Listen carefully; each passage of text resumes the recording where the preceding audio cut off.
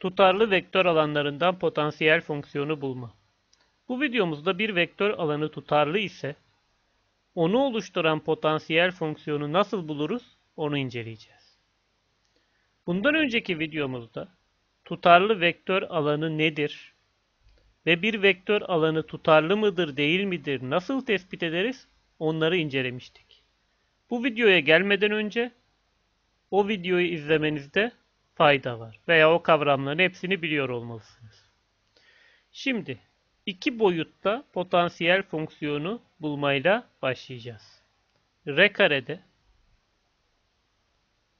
bir büyük F yani vektör alanı fxy eşittir p i artı q j diyelim. Buradaki p x ve y'ye bağlı bir fonksiyon, q da x ve y'ye bağlı bir fonksiyon. Eğer ki buradaki bu büyük f tutarlı ise bunun şimdi tutarlı olma şartlarını tekrar etmeyeceğim. Tutarlı vektör alanı ise örnekte zaten yapacağım. Tutarlı vektör alanı ise şunu anlıyoruz. Bu büyük f'i gradyan vektör yardımıyla oluşturan küçük f fonksiyonu var. Küçük f fonksiyonunun türevlerine eşittir buradaki p ve q. Eğer tutarlı vektör alanı ise.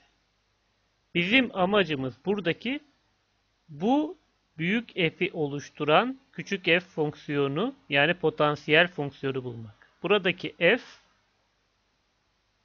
potansiyel fonksiyondur. Potansiyel fonksiyon. Ve bu potansiyel fonksiyon buradaki p'nin x'e göre integraline q'nun y'ye göre integraline eşittir. fxy eğer ki bu büyük f tutarlı ise yani bu büyük f'i oluşturan küçük f fonksiyonu potansiyel fonksiyonumuz İngilizce'de potential function buradaki p'nin x'e göre integrali burada hiç terslik yok. i yani x koordinatının bulunduğu yerdekinin x'e göre integraline eşit. Ayrıyetten fxy q'nun y'ye göre integraline eşittir. Neden ikisini de kullanıyoruz? Kullanmak zorundayız. Örnekte onu göreceğiz. Sadece 1 ile tamam küçük fx'ye şuna eşitmiş diyebiliriz. Sadece bunu alıp hesaplayalım. Orada bir sorunumuz var küçük fx'yi bulmak için. Bu nedenle ikisinin de bulunup birbirine eşitlenmesi sayesinde küçük fx'ye yani potansiyel fonksiyon bulunabilir. Şimdi R karede bir potansiyel fonksiyon bulma örneği yapalım. Bir büyük f'in tutarlı vektör alanı olduğunu tespit ettiğimizde onu gradyan vektörü yardımıyla oluşmasını sağlayan küçük f'i buradaki p'nin x'e göre integralini q'nun y'ye göre integralini alıp birbirine eşitleyerek buluruz.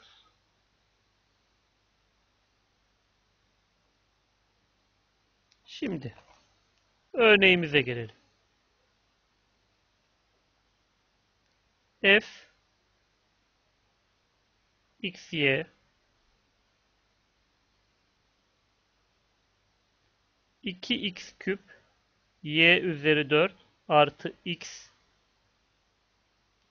i artı 2x üzeri 4 y küp artı y j vektör alanının vektör alanı veriliyor diyelim.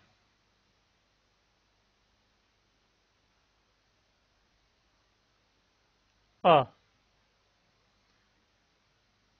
F'in tutarlı vektör alanı olduğunu gösteriniz.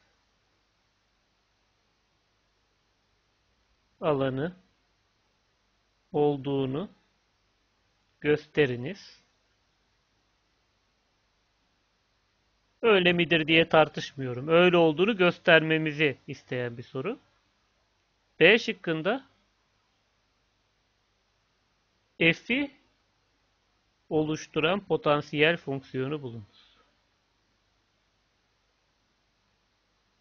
Potansiyel fonksiyonu bulunuz. Başka nasıl sorabilirdik? F'in tutarlı olup olmadığını belirleyiniz. Tutarlı ise potansiyel fonksiyonu bulunuz da sorabilirdim. Ama ben burada bunun direkt tutarlı olduğunu söylüyorum zaten. Ama gösterilmesini istedim A şıkkında. Bir önceki videomuzda konuşmuştuk.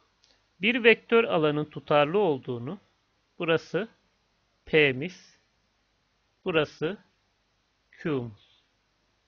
R karede tutarlılık P'nin Y'ye göre kısmi türevi eşit Q'nun X'e göre kısmi türevi olursa tutarlıdır. Bu birbirine eşitse bu vektör alanımız tutarlıdır. P'nin Y'ye göre alalım. P'nin Y'ye göre. Buradaki Y üzeri 4'ün türevi 4Y küptür. 8X küp Y küp. Burada Y'ye göre türev alıyoruz. Bunun türevi 0. Q'nun X'e göre kısmi türevine. X üzeri 4'ün ki 4 başa geçer. 8X küp olur. Y küp. Çarpım durumundaki harfliler sabit sayı kabul edilir. Y'nin X'e göre kısmi türevi ise 0'dır. Bu ikisinin açıkça birbirine eşit olduğunu görüyoruz. Tutarlı olduğunu böylece göstermiş olduk. Buradaki P'nin Y'ye göre kısmi türevi Q'nun X'e göre kısmi türevine eşitse iki boyutta tutarlılığı göstermiş oluruz. Tutarlıysa mutlaka bu büyük f'i gradyan vektörü alınarak oluşturan bir küçük f vardır. Yani bu bizim potansiyel fonksiyonumuz. B şıkkında da potansiyel fonksiyonu bulmaya başlayacağız. Buradaki p'nin x'e göre integralini alacağız.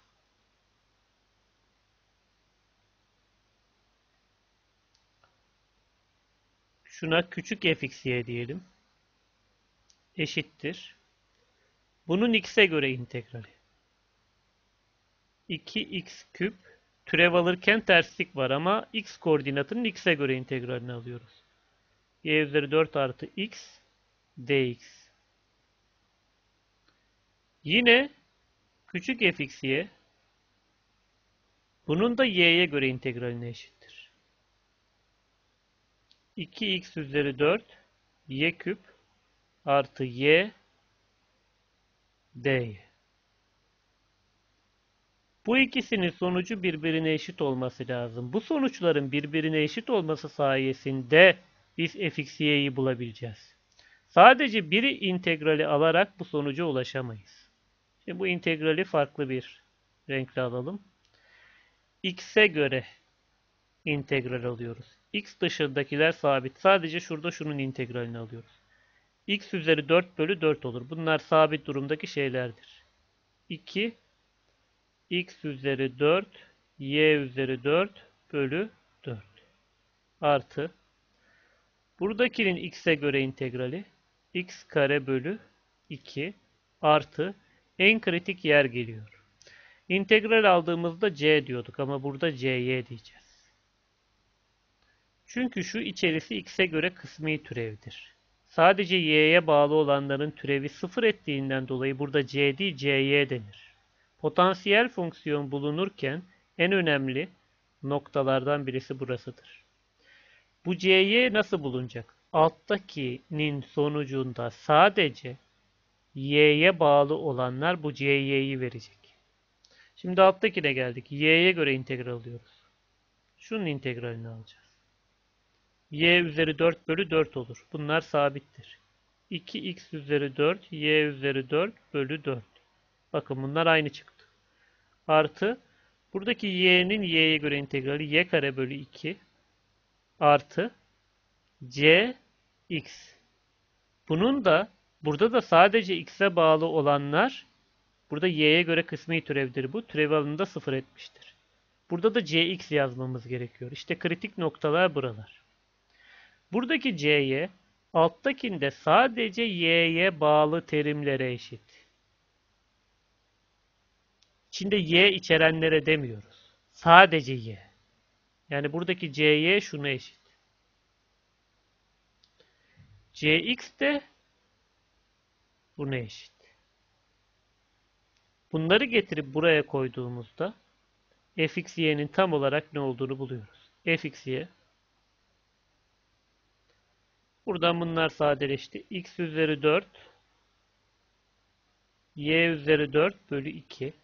Bu ikisinde de var bakın. Burada x kare bölü 2. Şunu getirip şuraya koyduğumuzda da artı y kare bölü 2. Bunu da buraya getirirseniz bu da bununla aynı olur. En son artı bir tane c dememiz gerekiyor. Bir tane sabit sayıyı temsilen. İşte bu bizim potansiyel fonksiyonumuzdur. İntegral en sabiti kurtaramaz. Yani sadece 1, 2, 3 gibi olan şeyleri. Artı c burada önemlidir. Onu da unutmamamız lazım. İşte bu potansiyel fonksiyonumuzdur. Bunun x'e göre kısmi türevini aldığımızda bize bu vektör alanının x koordinatını verir. O bulduğumuz f'in y'ye göre kısmi türevini aldığımızda da burayı verir. İşte gradient f ile oluşması demek bu demektir. İki boyutta potansiyel fonksiyon bulma bu şekilde gerçekleşir. Buradaki cx, cy kısımlarına oldukça dikkat edilmesi gerekmektedir. Potansiyel fonksiyon bulma ve tutarlılıkla ilgili 2-3 örnekten oluşan videomuz gelecek. Daha farklı örnekleri de o videoların içinden çalışırsınız. Şimdilik bu kadar yeterli ana fikrin kavranması için. Şimdi reküpte potansiyel fonksiyon bulmaya gelelim. Büyük f'imiz pi qj rk tutarlı ise Şimdi burada bunun tutarlı olma şartlarını da kısaca bir hatırlayalım. P'nin P'nin y'ye göre Q'nun x'e göre eşit olması gerekiyordu. P'nin z'ye göre R'nin x'e göre P'nin z'ye göre R'nin x'e göre Q'nun z'ye göre R'nin y'ye göre Q'nun z'ye göre R'nin Y'ye göre eşit olması gerekiyor ki bu tutarlı olabilsin. Bunların sağlandığını varsayıyoruz. Bir önceki videomuzda zaten tutarlı olma ve tutarlılık kontrolü ile ilgili örnekler yapmıştık. Şimdi bu tutarlı ise potansiyel fonksiyon yani bu f'i oluşturan bir küçük f söz konusudur gradyantı alınmasıyla. Bu küçük fx, y, z Buradaki p'nin x'e göre integraline eşittir. Bu küçük fx, y, z q'nun y'ye göre integraline eşittir. Bu küçük fx, y, z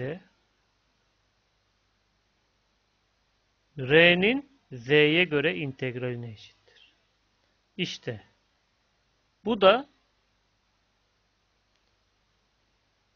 3 boyutlu küçük f'imizi bulmamızı sağlayacak 3 integral. Üçünü de hesaplamamız durumunda ancak fx, y, z'yi bulabileceğiz.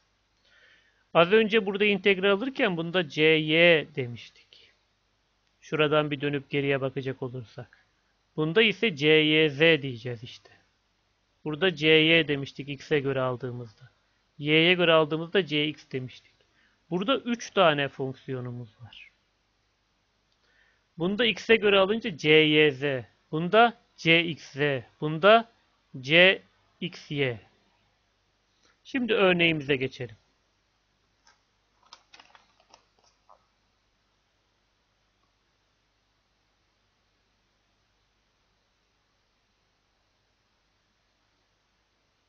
f x, y, z 2x y küp z üzeri 4 i. 3x kare y kare z üzeri 4 c.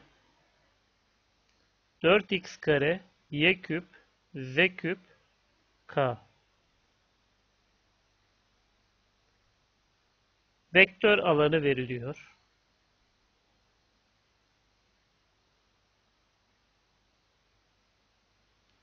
Vektör alanının tutarlı olup olmadığını belirleyiniz. Olup olmadığını belirleyiniz. Tutarlı ise potansiyel fonksiyonu bulunur.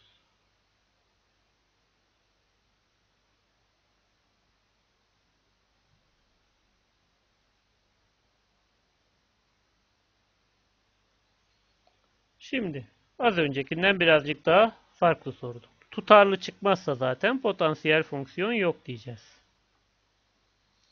Burası bizim P'miz. Burası Q'muz. Burası da R'miz.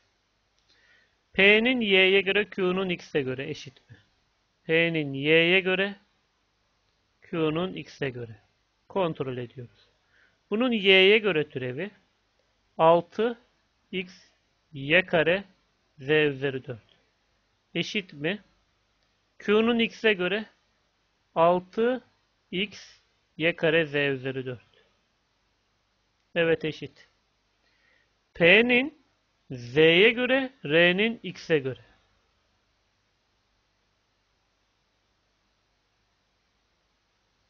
P'nin Z'ye göre alsak buradaki Z üzeri 4'ünü alacağız. Başa geçti.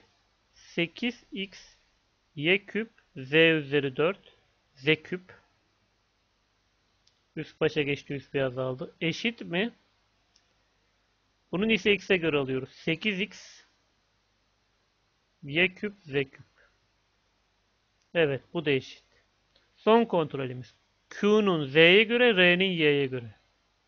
Q'nun z'ye göre, r'nin y'ye göre. Z'ye göre alıyoruz Q'nun 12 x kare y kare z küp eşit mi? R'nin ise y'ye göre alıyoruz. 12 x kare y kare z küp.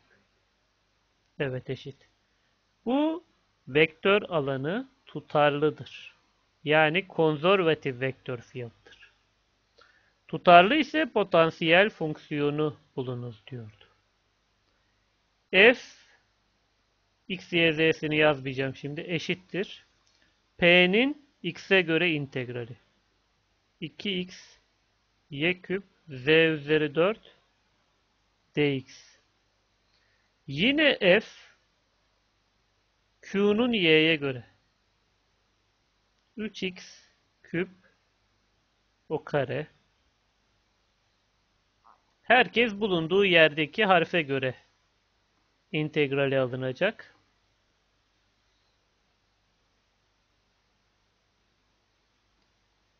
X kare y kare z üzeri 4 dy. Yine f eşittir. Şuna bir bakıp öyle çekelim aşağıya. 4x kare y küp z küp. 4x kare y küp z küp dz. Bu üçünün sonucu birbirine eşit olmalıdır. Yukarıda söylemiş miydik onu?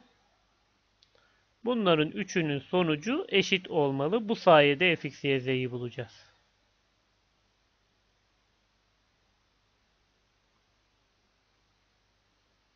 Şimdi bunun x'e göre integralini alıyoruz. x dışındaki her şey sabit zaten. Bu x kare bölü 2 olur. 2'ler gider. x kare y küp z üzeri 4 artı c x'e göre aldığımız için yz. Diğer ikisinde sadece y ve z'li olan terimlere eşittir burası. Varsa, yoksa sıfırdır. Buradakini y'ye göre alacağız. y küp bölü 3, 3 gider. x kare y küp z üzeri 4 artı. Bunda da c x z. Diğer ikisinde sadece x ve z'ye bağlı olanlara eşittir bu. Buna geldik. Z'ye göre alıyoruz. Z üzeri 4 bölü 4. Buradaki 4 gider. X kare Y küp Z üzeri 4 artı C Y Z. Bu ise diğer ikisinde sadece Y ve Z'ye bağlı olanlara eşittir. Şimdi bu noktada şunları tespit edecek olursak C, Y, Z. Diğer ikisinde sadece Y ve Z'ye bağlılar.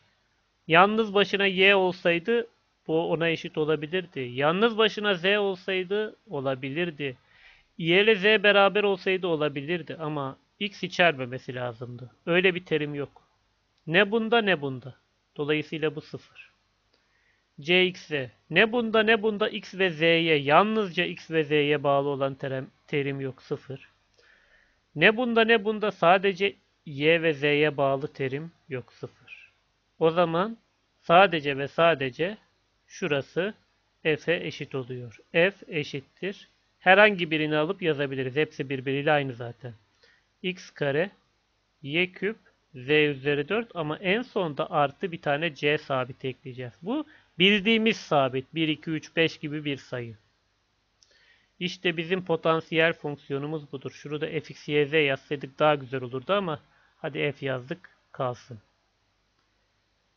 Bu şekilde potansiyel fonksiyon, tutarlı vektör alanı kavramlarımızı noktalamış oluyoruz. Şimdi bir vektör alanı, tutarlı vektör alanı ise çizgi integralini almada potansiyel fonksiyondan yararlanma metodunu inceleyeceğiz. Tabi ondan öncesinde bu yaptıklarımızla ilgili ikişer üçer tane örnekten oluşan video serilerimiz gelecek.